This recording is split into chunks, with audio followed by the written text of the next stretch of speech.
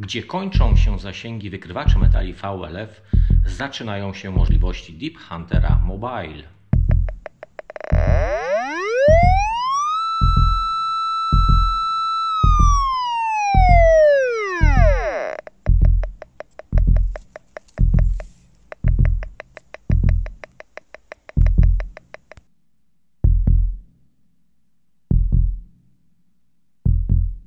Witam serdecznie wszystkich.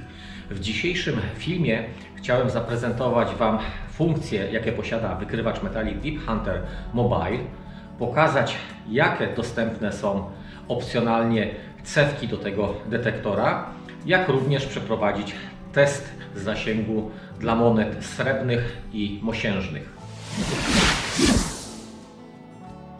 Wykrywacz metali Deep Hunter Mobile jest bardzo prostym urządzeniem, które z powodzeniem może używać każda osoba. Deep Hunter Mobile wyposażony jest w tak zwaną dyskryminację wielkościową.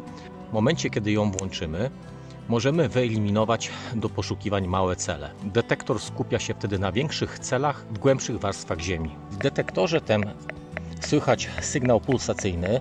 Do tego jest przystosowane specjalne pokrętło, którym się ten sygnał zwiększa lub obniża. Zalecany jest sygnał na pograniczu słyszalności.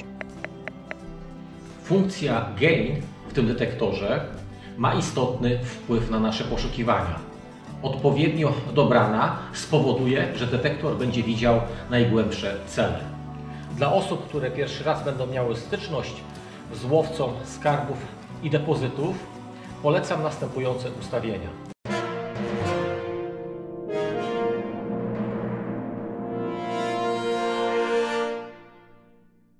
Wykrywacz metali Deep Hunter Mobile posiada serię cewek.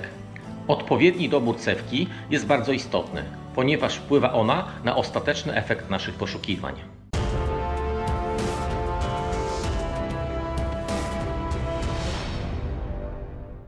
Serię cewek Deep Hunter otwiera duża cewka o eliptycznym kształcie o rozmiarach 58 na 38 cm może być stosowana z dużym powodzeniem do szukania dużych i małych monet i głęboko zakopanych celów, takich jak militaria, depozyty i meteoryty.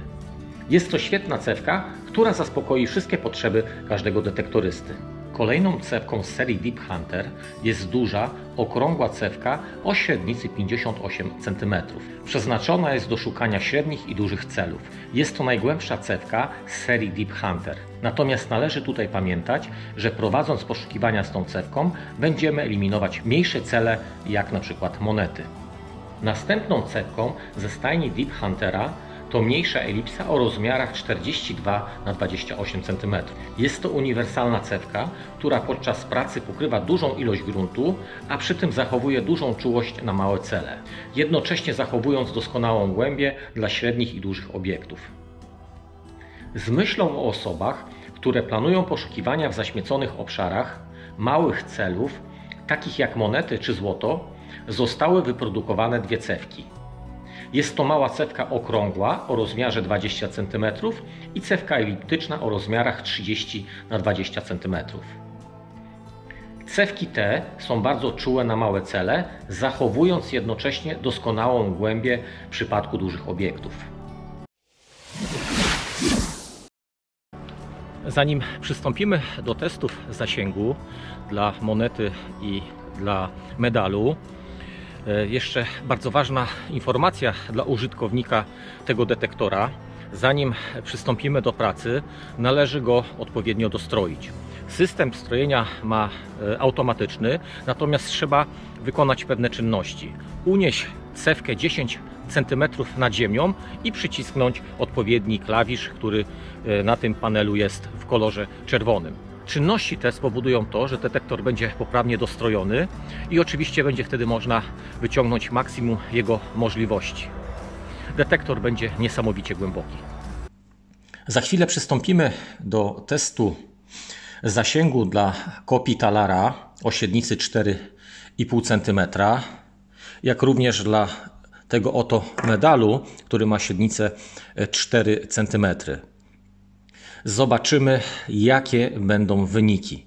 Natomiast Celowo podałem e, Państwu średnicę, bo w wykrywaczach typu PI e, nie liczy się grubość danego przedmiotu, a bardziej jego powierzchnia, średnica. To jest jakby istotne i kluczowe.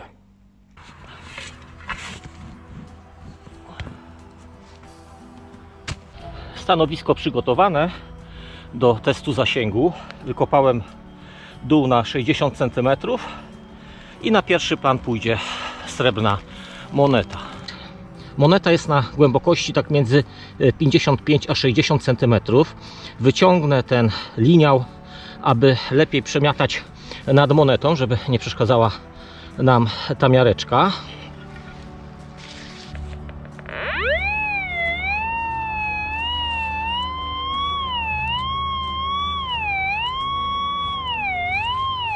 Moneta jest na głębokości 55-60 cm. W momencie, kiedy sygnał jest nad tą belką, to 60 cm jest e, pewne.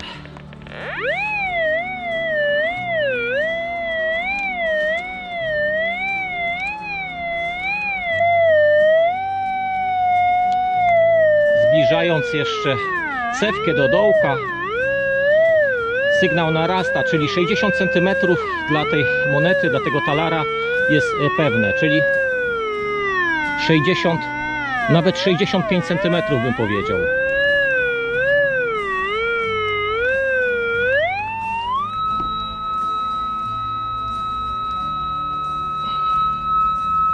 Kolejny test zasięgu, tym razem dla medalu e, mosiężnego średnicy praktycznie jak ta kopia talara. No a test będzie zrobiony na 50-55 cm. Zobaczymy, czy Deep Hunter Mobile będzie widział ten medal z tej głębokości.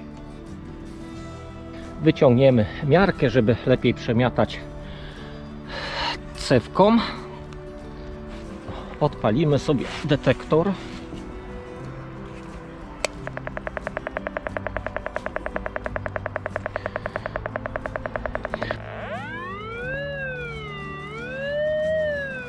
Pięknie widzi ten medal. Wykrywacz poprawnie reaguje z każdej strony.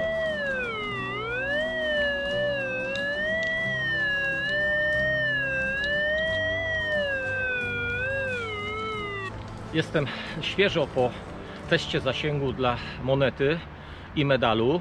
Jestem pozytywnie zaskoczony, bo osiągi 60 cm, 60 kilka dla tego talara czy około 60 dla tego medalu jest naprawdę wynikiem bardzo, bardzo, ale to bardzo zadowalającym. Także możliwości Deep Huntera Mobile są e, niesamowite. Jeżeli chcielibyście coś więcej dowiedzieć się na temat tego oto detektora Deep Hunter Mobile, zapraszam Was serdecznie do kontaktu ze mną. Natomiast jeżeli ktoś z Was chciałby już teraz nabyć ten detektor, pod filmem w opisie znajduje się link. Wystarczy kliknąć w ten link. Przyniesie Was on do oferty do sklepu. Serdecznie dziękuję Wam za obejrzenie kolejnego filmu. Jeżeli chcielibyście być na bieżąco z materiałem, który pokazuję na YouTube, zasubskrybujcie mój kanał i naciśnijcie dzwoneczek. Do zobaczenia w następnym filmie.